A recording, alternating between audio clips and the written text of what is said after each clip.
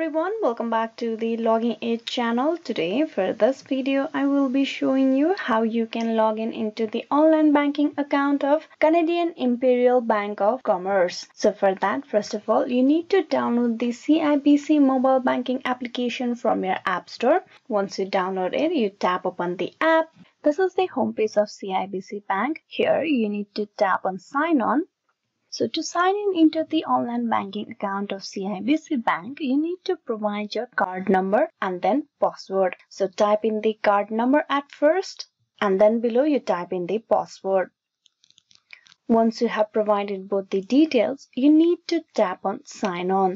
This will get you logged in into the online banking account of CIBC Bank. Here, if you forgot the account password, you can tap on reset password at the bottom left corner of your screen this will direct you to the another page for the recovery of password. So this is how you can log in online banking of CIBC Bank. Hope this video was useful. Please like and subscribe the Login Aid channel. And also don't forget to click on bell icon for the notification and updates. Thank you for watching till the very end.